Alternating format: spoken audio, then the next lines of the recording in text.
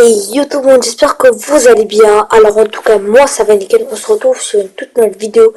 Euh, on va se trouver euh, sur une théorie Fortnite Battle Royale spéciale Titlet Tower.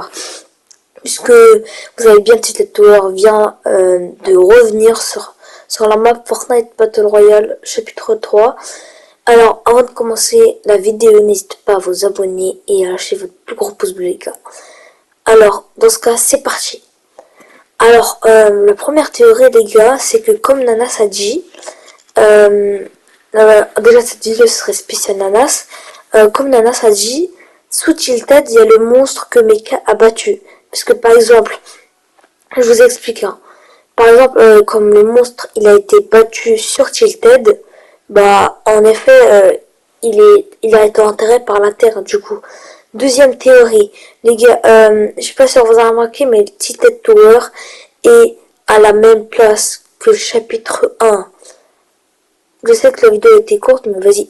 Ciao les BG